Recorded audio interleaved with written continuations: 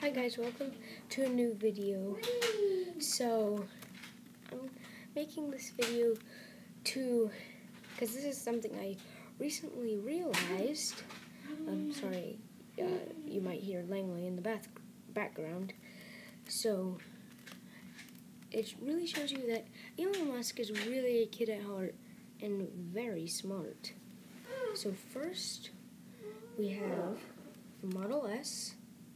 Then we have the Model E, which was the Model 3, my bad, which was going to be an E, but that got copyrighted by Ford because of their Mach E, their electric SUV. Then then we have the Model X, the Model Y, and we've got the Cybertruck, the Model A, which he hasn't made yet, but he registered the name already.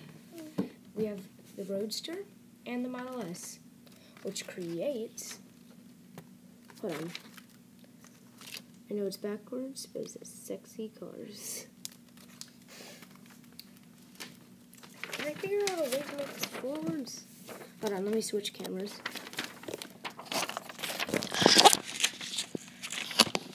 There we go. Sexy cars.